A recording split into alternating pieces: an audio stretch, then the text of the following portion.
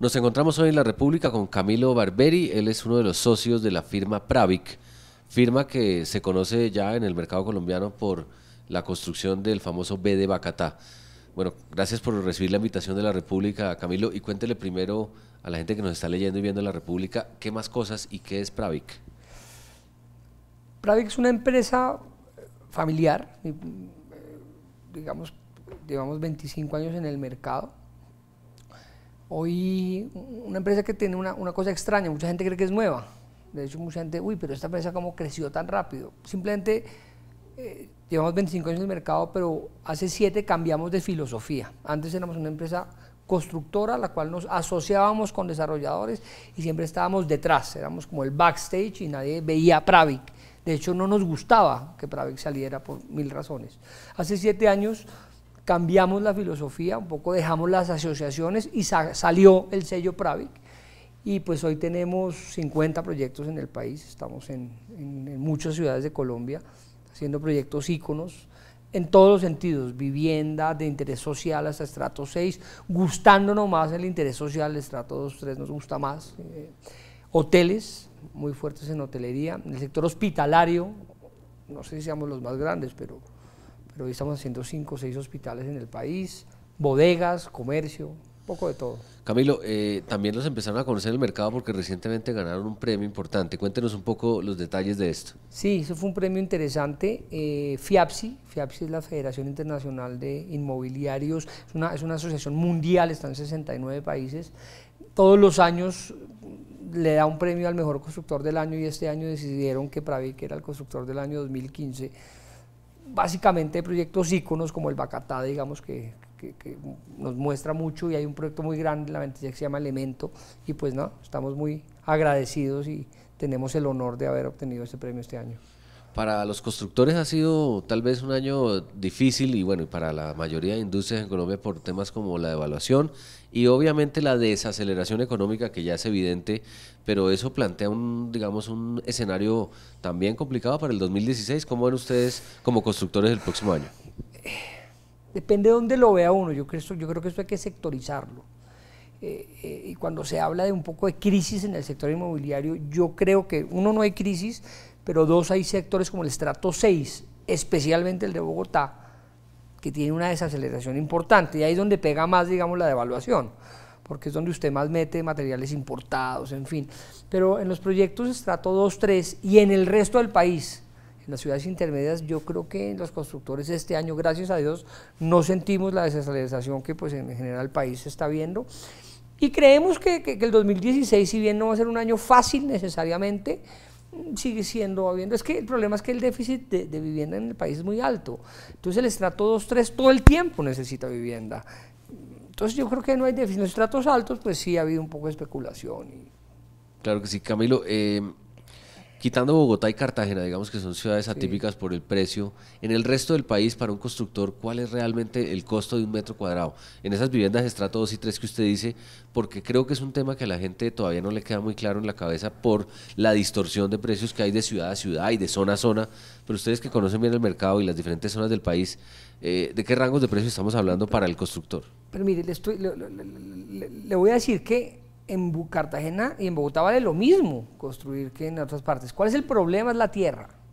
Ahí se encuentra la diferencia de tierra, el costo es igual.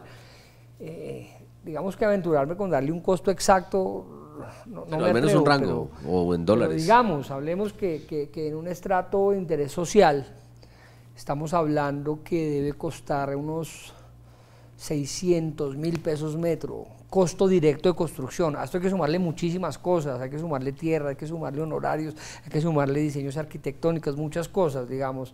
Pero mire, hay una especulación, y, nace de Petro un poco, que es que los constructores ganamos mucha plata. Eso no es cierto. La utilidad de un constructor en cualquier proyecto no pasa al 10%.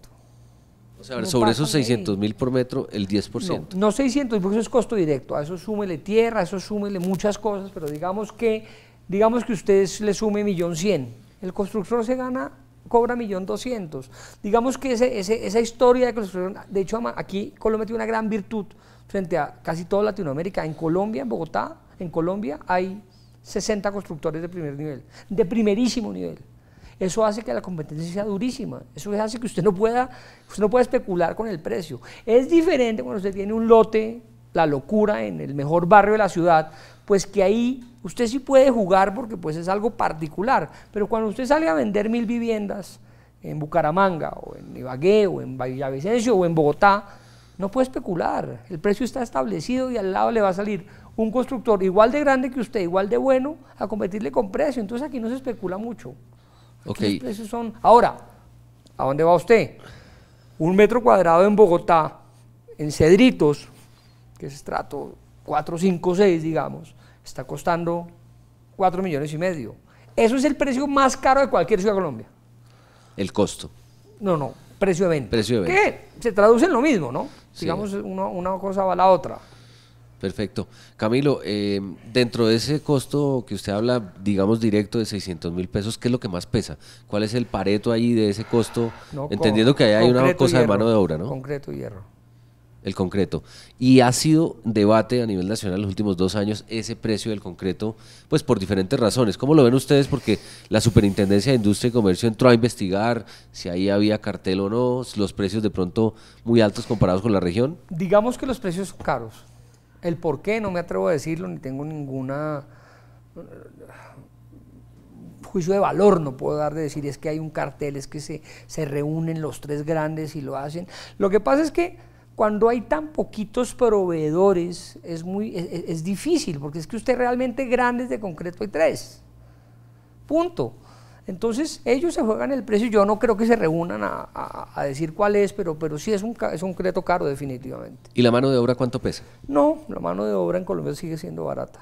¿Frente a la región? sí, sí, sí, la mano de obra. además es calificada, usted sabe que en Colombia la mano de obra es buena, el, colombiano es trabajador, el colombiano le mete la ficha y el colombiano lo hace bien. O sea, hay deserciones, hay, hay, está la, la, historia de que es que el costeño trabaja menos que el cachaco, eso no es tan cierto. Hay que entender la idiosincrasia. Digamos, cuando nosotros salimos de Bogotá eh, a la costa, al principio nos dio duro, pero nos dio duro porque no eh, hablamos dos idiomas diferentes. Simplemente hay que entender que de dos y a dos pues, no pueden trabajar, pero pueden trabajar porque realmente el sol no los deja. Entonces, eh, hay muchas cosas que hay que entender y hay que afinar y, llegan unos, unos niveles de entendimiento que funcionan bastante, bastante bien.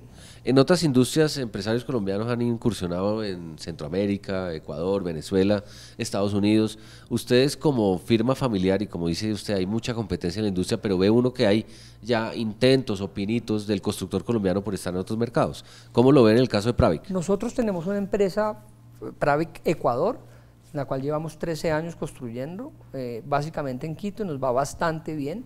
Eh, somos una de las firmas reconocidas en Quito. Hemos mirado otras opciones. Eh, la realidad es que Colombia, Colombia es un país que, tiene muchísimo mercado y un mercado interesante. Panamá lo hemos visto mucho, pero Panamá es, una, es, complicadísimo porque los sindicatos de obreros en Panamá, por ejemplo, son dificilísimos. Nosotros no estamos acostumbrados a lidiar con eso. Costa Rica estuvimos metidos. No fue fácil entendernos con, los ticos, simplemente no, no, por nada malo, simplemente tenemos formas de ver la, construcción diferente. Colombia tiene una virtud importantísima ante casi todos los países de Sudamérica y nadie sabe esto. El tema de construcción en Colombia está muy bien armado, el tema de fiducia, de crédito, de hipoteca, es un tema jurídico que respalda toda la industria. Usted se va para Santo Domingo, por ejemplo, donde estuve, estuvimos a punto de entrar, y esto es a la de Dios. Aquí no hay hipoteca, aquí no hay crédito hipotecario real, aquí no hay una fiducia, aquí todavía es como antes. Venga, yo le vendo, listo, deme la platica y al, al albur de que el constructor se hace y lo haga. No, en Colombia la cosa está bien armada. Por último, Camilo, es indudable que para el año 2016, cuando comienza el mandato Peñalosa en Bogotá, va a haber una perspectiva diferente que ya se siente en los últimos meses de Petro, donde volvió a reactivarse la, construcción que estuvo frenada prácticamente tres años hasta, hasta la caída del POT. ¿Cómo ven ustedes ya el 2016 y de aquí en adelante? Es un respiro. Mire, Petro fue fatídico para Bogotá en términos de construcción. Lo grave es que eh, Bogotá no va a ver eso hoy. Porque, ¿qué pasa? Si usted, usted dice, la gente dice, pero ¿cómo fue fatídico si uno ve obras en todas partes? Pero porque esas obras que vienen para atrás, yo le pongo un ejemplo mío particular. Yo, cuando empezó Petro el día 1, tenía 2.000 unidades de vivienda para la venta. Hoy me quedan 18. Óigame lo que le estoy diciendo, y no tengo más. Proyectos nuevos no tengo porque el señor pues cambió la norma cada vez que puso, la hizo a su disposición, para mí para intereses personales, pero no, no quiero entrar ahí. Pero desde la caída del POT no arrancó, digamos, una nueva etapa. Claro, ¿qué pasó? Él por una razón que tampoco desconozco, se empecinó empecinado en, por decreto y luego no por decreto, por norma en hacer un pot de altura en ciertas ciudades, en ciertos lugares de Bogotá, lo cual favorecía a algunos, especialmente a los grandes, eh, incluyéndome. Lo que pasa es que es malo para la ciudad. Es que no, no, es bueno, es un pot que no sirve. Entonces mucha gente logró rápidamente en los últimos estos seis meses, y estos dos meses prepárese, si usted hace una investigación, las licencias que se dan en Bogotá estos dos meses son infinitas, porque pues hay una buena norma para el constructor, sí hay que pagar unas cargas y una serie de cosas, pero hay proyectos que, que, que, les va a funcionar. Son viables. Son viables. Eh, pues porque usted tiene altura, y la altura pues hace que usted pueda, digamos, hacer muchos metros cuadrados. Pero eso se acaba el primero de diciembre, el, 30, el primero de enero, pues Peñalosa creemos va a entrar a poner orden y, hay una perspectiva nueva. Nosotros, nosotros, nosotros éramos solo Bogotá. O sea, yo le doy gracias al alcalde, alcalde Petro, gracias. Yo estoy en Colombia gracias a usted, pero, pero fue fatídico para la ciudad. Petro en términos de construcción fue una cosa absurda. Eh, y lo va a ver la ciudad, porque es que si bien hay una serie de licencias que están saliendo, va a haber un año, año donde se va a parar. Donde usted va a ver que hay menos construcción y eso es menos mano de obra. Entonces ahí sí se va a sentir lo que nos hizo este señor estos cuatro años. Pero bueno, ya pasaron, creo que viene una nueva ola. Eh, yo creo en Peñalosa, yo creo, yo digamos no, soy apolítico, digamos, no es que esté haciendo campaña, pero yo sí creo que Peñalosa tiene un sentido claro de para dónde debe ir la ciudad y los constructores estamos contentos, esperamos la norma. Igual seguimos en un, en un, en un limbo, ¿no? El, primero de enero se acaba el de Gedro Petro, seguro. Y arranca Peñalosa a armar un pod nuevo. Eso se va a demorar seis, siete meses. Mientras tanto, ¿qué va a pasar? No sé. Pero, pero hay que meterle porque Bogotá sí tiene un déficit, especialmente la gente además habla de es que hay, un boom, ¿y qué va a pasar? No, aquí hay 300 unidades que valen muchísima plata, pero el estrato 1, 2, 3 no tiene donde comprar unidades. El déficit es infinito. Usted cualquier proyecto que ponga en Bogotá de interés social lo vende así, pero porque no hay. Es tema entonces de demanda. Es un tema total. Pues gracias a Camilo Barberi, el socio de uno de los socios de Pravic, por estar hoy aquí con nosotros en la República.